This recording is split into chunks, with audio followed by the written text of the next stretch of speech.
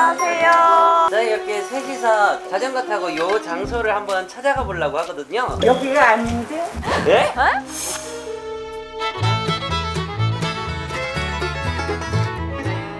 뭐예요? 여기 어디예요? 홍수대 해수욕장. 아, 뭐 잘못했잖아.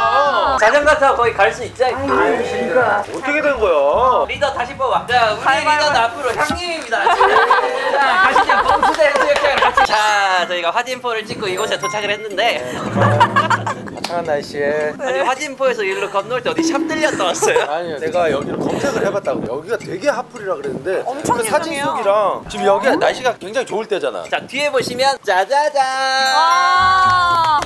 아, 저희가 세 번째 미션 clear 조건인 짜잔 이, 이 핫플로 이동을 해보겠습니다. 와, 가시죠. 어, 드디어 MZ세대들의 핫플 바로 앞에 그 유명한 송지호 해수욕장도 있고요. 여기서 서핑을 즐겁게 즐기면 됩니다. 송지호 사람 아니에요? 아, 송지호는 사람이 아니라 호수 이름이에요. 이 장소가 바로 여기 네. 앞인 거잖아요. 우리가 보이는 데서는 요 view가 안 보이는데 여기서 10m만 걸어 나가면 날씨가 달라요 여기는. 그니까 그래, 10m면 다를 수 있어. 네.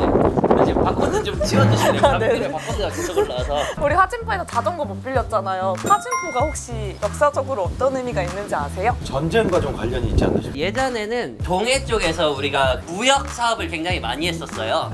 그래서 그래서 화진포라 함은 바다에 있던 해적들을 물리치기 위한 포가 아닌가. 와, 아닙니다. 아니지 네, 정확히 그럼 힌트 아니고요. 좀만 주면 안 돼요? 어, 화진포는 이것이 유명하다. 엉덩이에 붙어 있는 것들이에요. 종...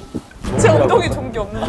화진포는 예로부터 모래가 아주 곱고 아름답다고 유명하던 해수욕장입니다. 화진포에는 또 예쁜 호수가 하나 있거든요. 화진포라고 해서 우리 나중에 한번 그 자전거 타러 가면서 그 호수도 꼭 들려봐요. 아, 근데 지금 이렇게 미소를 짓는 게 너무 이렇게 한라봉이셔가지고. 아 진짜 고속장 날라간 제가 살짝 듣기로는 여기 지금 카페에 부부분이 운영을 하시는데 서핑을 하시다가 바다 위에서 이제 바다 이제 위에서 만나셔가지고 네. 실제 결혼을 하셨다고. 대박. 와, 와, 엄청난- 낭만적이다. 자 앞으로 모셔보겠습니다. 아. 안녕하세요. 안녕하세요. 소개 한번 부탁드립니다. 저희는 어, 서핑하다가 결혼하다가 지금까지 살고 있는 서프그라운드의 조건형 김윤희입니다.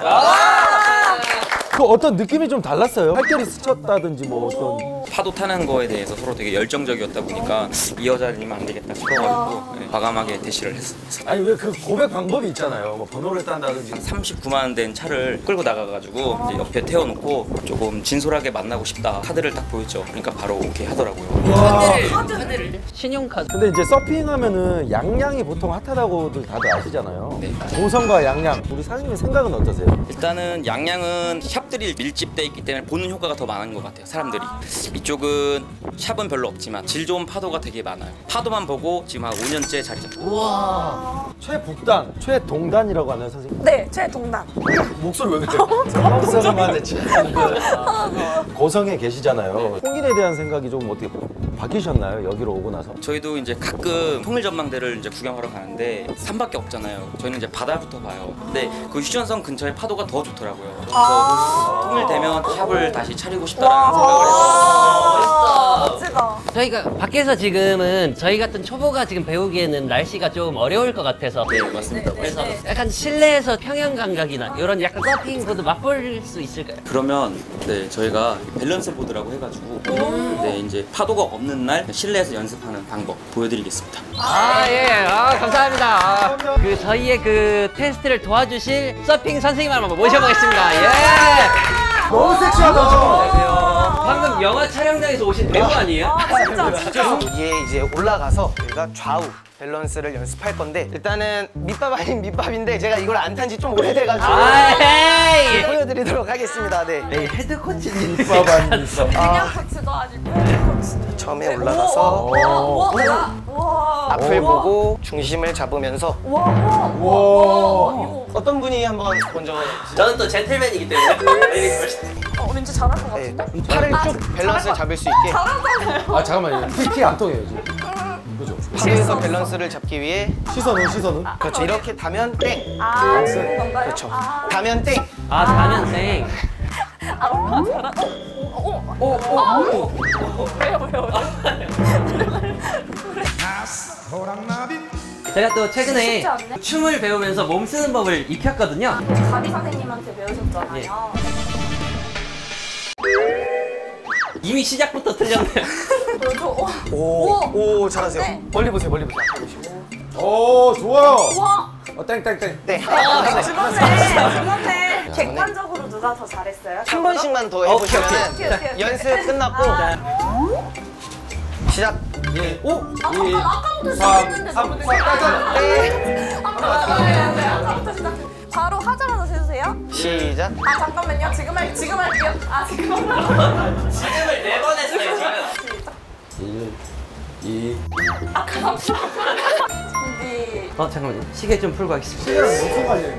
그냥 감각이. 자, 가보겠습니다. Yeah.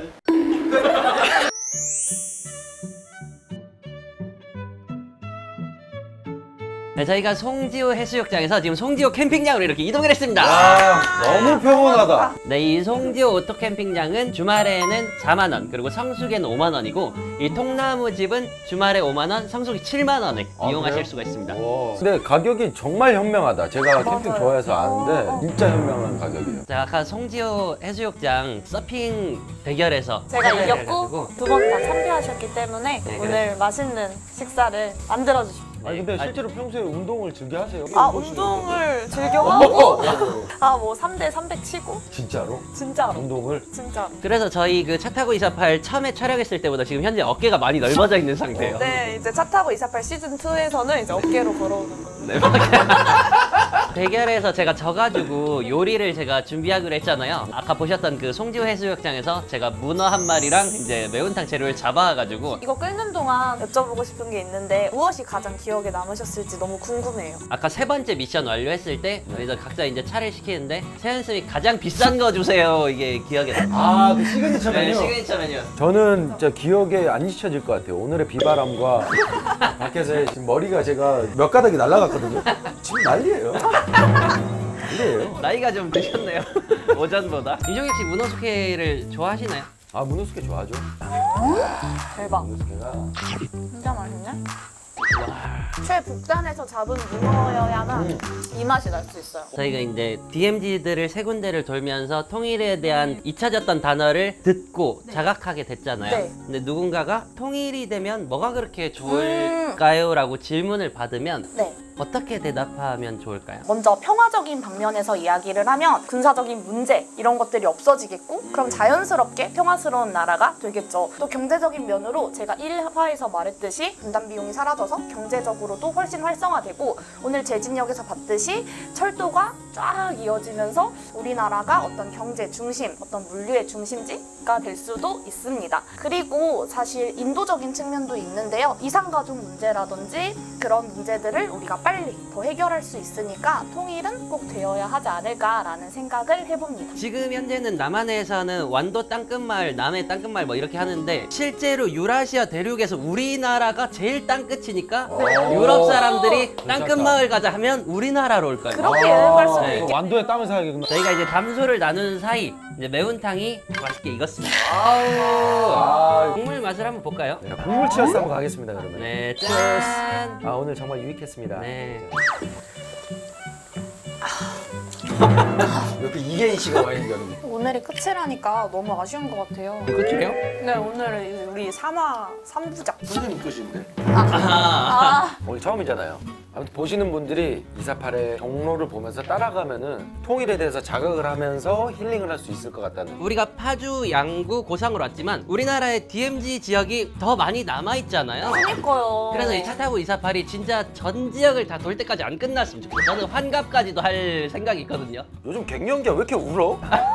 왜또 울어? 어, 왜, 왜 그러세요? 아니 진짜로 그 사실 쉽게 경험하지 못하는 경험들을 차 타고 248을 통해서 이제 매번 올 때마다 경험하다 보니까 목이 메이고 이렇게 울컥하고 차 타고 248 프로그램을 만들어주신 제작진분들과 PD님들, 작가님들, 출연자님들 너무 감사하고 아, 저희가 내일 그 낄케상에 업로드할 영상이 없어가지고 아. 이거 업로드 미리 하겠습니다. 아, 우리 이것도 다 들고 있으니까 제가 구호 한번 외치는 거 어떨까요? 차 타고 248 그때 이사하고 팔팔하게 이상하고라뇨. 아, 이사 이사 이제부터 사이좋게 아주코 팔팔하기였는데 그거 네. 말고 요즘 MZ 세대답게 네. 구호 한번 외칩시다. 어 좋다. 통바지로 어떨까요? 통바지. 제가 구호를 외칠 테니까 제 구호가 끝나면 통바지 하고 같이 외쳐주세요. 어 알겠습니다. 알겠죠? 통일은 바로 지금부터 통바지. 와 소름 돋았어. 저는 그러면 통기타로 한번 가겠습니다. 아, 질수 없어요. 네, 해보세요. 통기타. 네. 통일은 기차 타야지. 아